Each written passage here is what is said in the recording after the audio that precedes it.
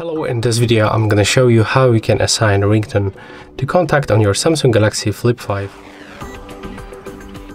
So to do this we have to open the phone dialer. Next we have to pick our contact and we have to click on this information icon. Right now click on more, select change ringtone and vibration, select the ringtone, accept permissions and as you can see we can find default ringtones just right here. That's the list of all default ringtones. We can also adjust the volume of this ringtone. But when you click on this plus in the right upper corner, uh, you can find uh, the default ringtones.